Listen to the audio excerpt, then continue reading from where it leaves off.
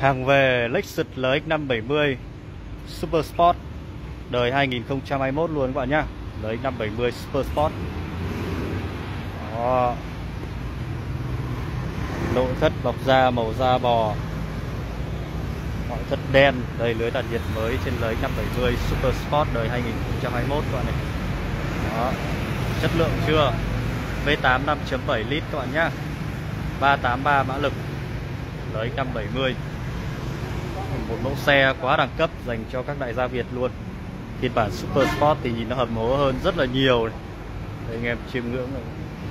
cực đẹp luôn đèn pha led led xịn sò ấn tượng luôn. Đây, nội thất này. Nội thất cho anh em chiêm ngưỡng này. hàng ghế sau của nó này. Wow, màn hình giải trí này. Bọc da cao cấp này đục lỗ thông hơi này. Wow hàng ghế sau đục lỗ thông hơi các bạn nhé. Chỉnh cơ. Chiếc này không biết có cửa hít chưa nhỉ? Chưa có cửa hít các bạn nhé. Đây, chưa hít luôn. Lấy 570 phía sau thì có Lincoln Navigator là Black Label các bạn này. Rồi đèn hậu. Thiết kế tinh thể 3D đẹp chưa? LX570 Super Sport. Chất lượng.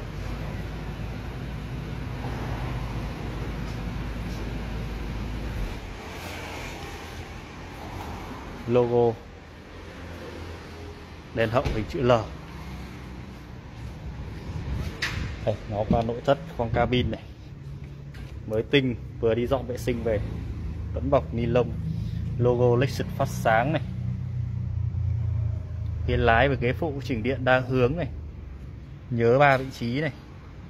Vô lăng bọc da ốp gỗ này.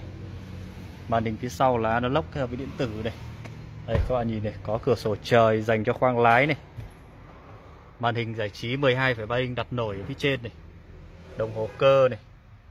Cụm điều chỉnh uh, cần số và các cái tính năng liên quan đến off-road và đi địa hình khó các bạn này. Các chế độ lái này nâng hạ gầm này sấy sưởi uh, cho ghế ngồi này cái cụm điều chỉnh màn hình này. Đó các bạn nhìn nhé lấy 570 Super Sport giá đâu đó khoảng à, 9x tỷ đồng các bạn nhé đó V8 5.7 lít. V8 5.7 lít luôn. Nhập Mỹ. Quá là chất lượng luôn anh em ạ.